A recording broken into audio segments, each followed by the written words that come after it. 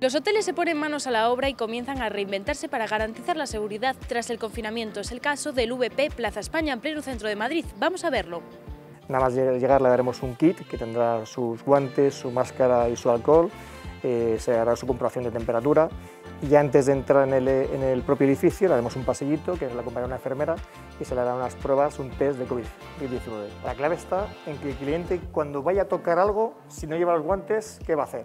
Aquí tendremos expendedores de alcohol fuera del ascensor y tendremos expendedores de alcohol dentro del ascensor para que el cliente se toque, se echa alcohol, se limpia. Aquí lo primero que estás viendo que desaparecerán las mesas altas, se quita todas las mesas de la barra, desaparecen porque es la zona más cercana con el camarero. Eh, y hay una zona, haremos una especie de línea de entrada por donde el cliente debe ir, pondremos mamparas de separación, unas 36, 38 mamparas de separación y la idea está que es un espacio muy grande, pues hay un metro de distancia entre una mesa y otra mesa. Pero los costos son altos y no todos los establecimientos pueden hacer frente a grandes reformas. ¿Qué van a hacer, por ejemplo, los hostales o los albergues? Vamos a hablar con el responsable del hostal Castilla 2. Tenemos 12 empleados y también, claro, si se deshace el ERTE, y no tenemos, y no tenemos clientes, ¿cómo, ¿cómo, vamos a funcionar? ¿Cómo vamos a pagar a nuestros empleados? ¿Cómo, cómo vamos a generar dinero? Habrá que pasar una desinfección de todo el establecimiento.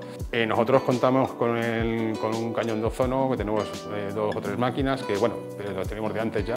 El tema más importante es la seguridad eh, nuestra, de los clientes y de los empleados.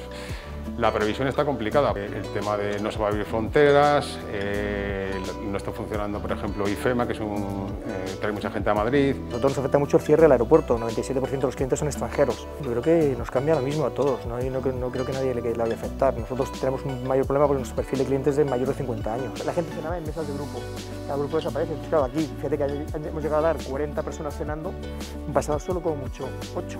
Está todo cerrado, nosotros estamos facturando cero euros. Y gastos, y gastos tenemos gastos fijos ahí.